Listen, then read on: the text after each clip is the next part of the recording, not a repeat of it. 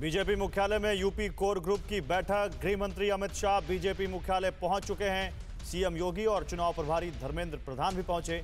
छठे और सातवें चरण के उम्मीदवारों के नाम पर चर्चा होगी।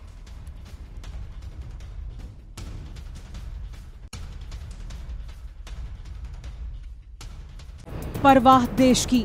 सोमवार से शुक्रवार रात 10 बजे टीवी 9 भारतवर्ष पर।